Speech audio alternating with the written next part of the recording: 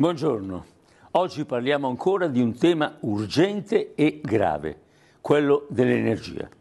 Nelle prossime settimane questo sarà un problema drammatico per le famiglie e per le imprese. Per effetto della guerra in Ucraina il costo dell'elettricità e del gas è salito da 4 a 6 volte in un anno. La prima emergenza che riguarda direttamente ogni italiano è l'aumento di luce e di gas.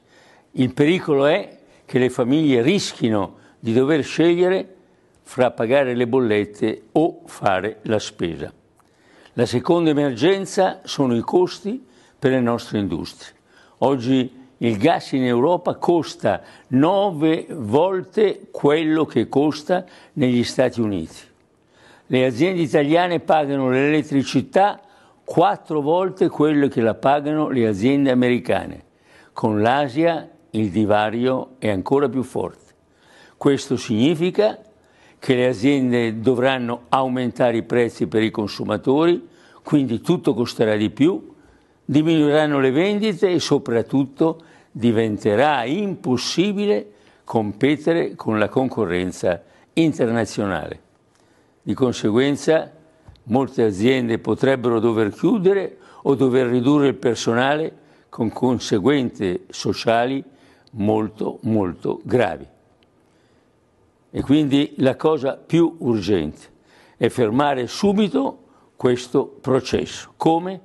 Agendo sulle tasse per ridurre il costo dell'energia a un livello accettabile.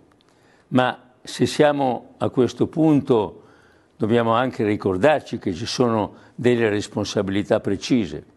Infatti, in nome di un'ideologia sbagliata sull'ambiente, la sinistra ha detto sempre no a tutto e così non abbiamo fonti di energia alternative.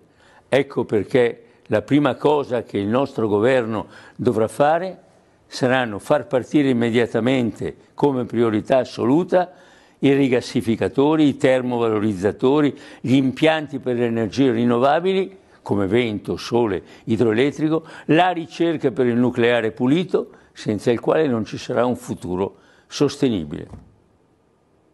Allora, se anche tu credi che l'Italia debba difendersi da questa minaccia, se anche tu credi che sviluppo e ambiente siano strade compatibili e non alternative, allora il prossimo 25 settembre non puoi ignorare la possibilità di cambiare una situazione che dura da troppi anni.